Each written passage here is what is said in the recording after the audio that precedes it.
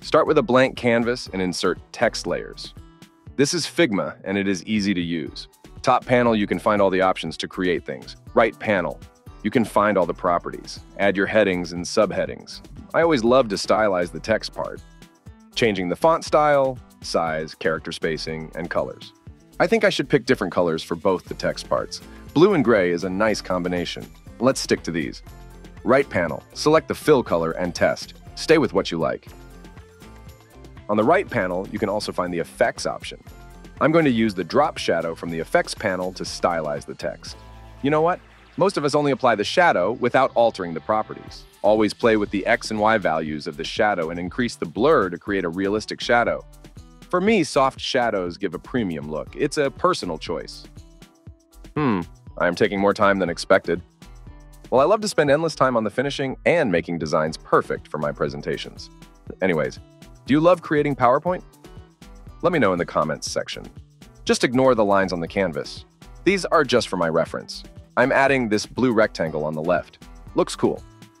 Let's see if I will keep it till the end. Now let's use the text box instead of adding a new one to add branding. Either you add logo or company name. But most of us follow a standard template with already placed logo. But there is nothing wrong in suggesting a new design style in case you are following a pre-filled template.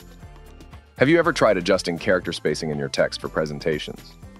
It can significantly enhance the overall design, especially for specific headings, subheads, or keywords.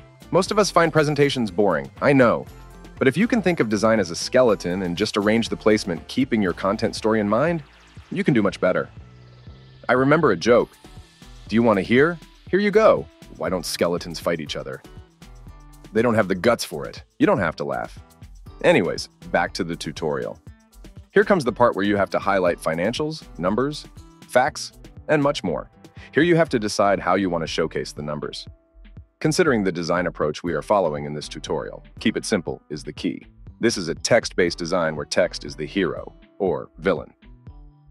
If you see closely, I am not doing something different here. I have added two text boxes.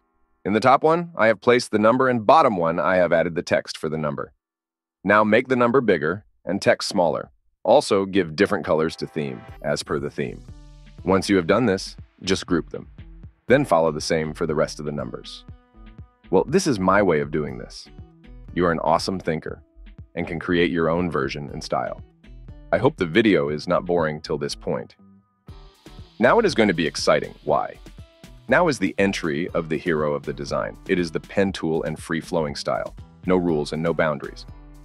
Take out the pen and draw a pattern without thinking. I just love this part. Now take the excitement to the next level. Gradients. Fill gradient in the pattern. Under fill on the right panel, you will find the gradient tool. Here, you have to try and test. Use two, three, or more than three gradient stops, but in the end, the pattern should look cool. Keeping corporate style in mind, I'm using the blue and green combination for the gradient color. Do you use gradients in your presentation designs? Try to use if you're not using. Well, let's duplicate the pattern and only keep the outline. Uh, in the outline, fill the same gradient. In the Figma, outline is called stroke. Keep watching the video and you will learn better.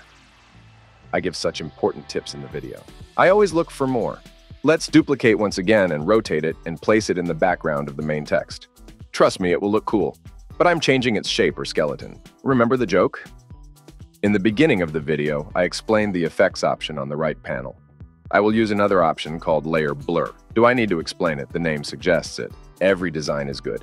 The whole game is to be different than others and giving a sense of personalized experience. If you want to make a career in a presentation storytelling, go for it. But you have to be very imaginative, an urge to tell and explain stories in a very creative manner. This is different from UI UX careers. For those who don't know, you can use Figma for free. There is a paid version as well, but free will work for you in the beginning. Now I have exported the design to PowerPoint. Actually, I want to add some animation. The pattern in the background of the main text, I want to apply grow and shrink animation. It works amazingly. It is easy to apply. Make sure you select repeat until end of the slide, else it will run for just one time. Also, remember to select start with previous and keep the duration long. Now go and relax and enjoy your coffee. I am on Patreon as well. Follow me there. Subscribe, like, and share. In the description, you can find the downloadable link. In the next video, I will show you another art, and always remember, In the garden of life, plant kindness, cultivate joy, and let your soul bloom with love.